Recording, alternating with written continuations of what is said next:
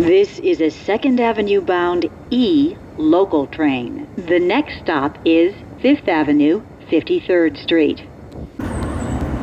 This is a 2nd Avenue bound E train via the F line. The next and last stop is 2nd Avenue.